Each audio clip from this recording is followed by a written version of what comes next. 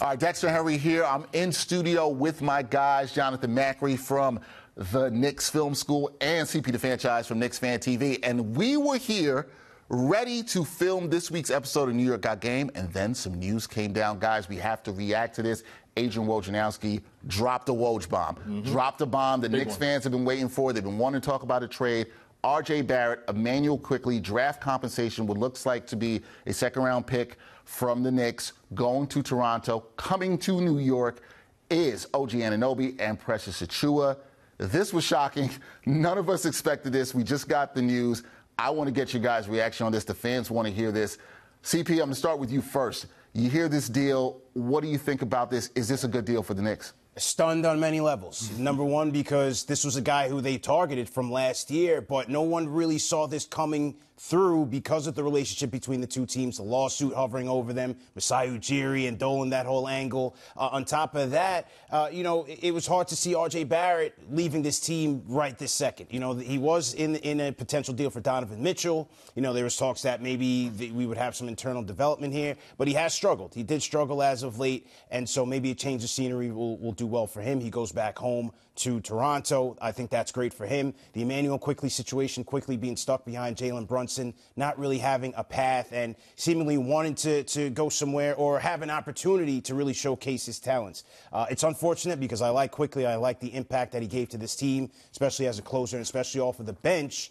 However, in OG Anunoby, you're getting your defensive versatility. You're getting a wing. I've been saying for so long now, we need a wing. And you're getting some three point efficiency.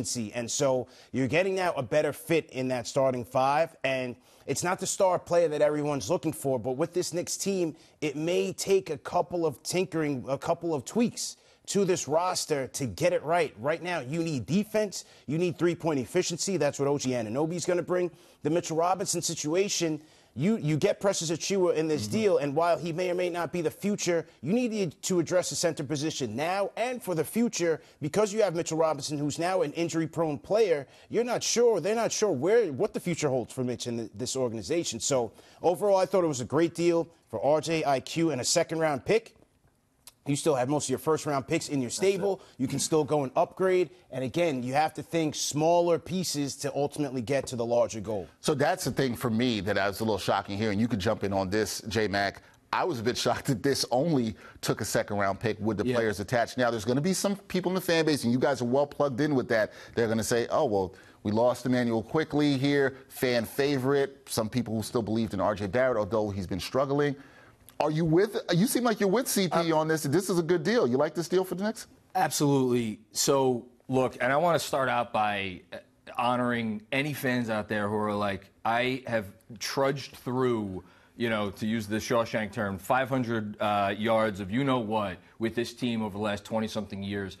I finally got a couple of guys that I could really wrap my, my arms around and feel like they're my own. Some people are in the IQ camp, some people are in the RJ camp, some people are in both camps. I get it. Sometimes a deal makes too much sense to pass up. What did we hear about with the Donovan Mitchell rumored trade last summer? It's, well, you know, can they get Mitchell but still have enough left over to get that other guy? In trading just these two players out for OG Anunoby and maintaining all of their first round draft equity, as has been reported so far, we're going to go on the reporting that we have, that allows them to do that. And then you look at the players involved in the deal. CP hit on a lot of it. I'm going to actually look at it from Toronto's angle for, for a quick second. Where was the, the logical landing place for Immanuel Quickley? It was alongside a big wing who initiates the offense, so he could be the nominal point guard. But really, he doesn't have to do as much initiating as maybe in some other situations. That's the situation he's in now, next to Scottie Barnes. Makes perfect sense for him. They needed that player.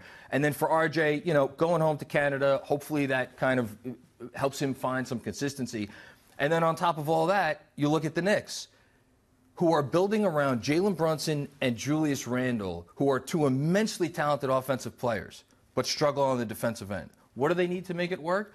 That skeleton key wing, right? Who can create a little bit, can be effective off the ball with his jump shot behind the behind the three-point arc, and most importantly, can be the type of and you said this, CP, the versatile wing that can cover. If you need him to cover a center, he could do that. If you need to cover a point guard, he could do that. Put him anywhere on the floor.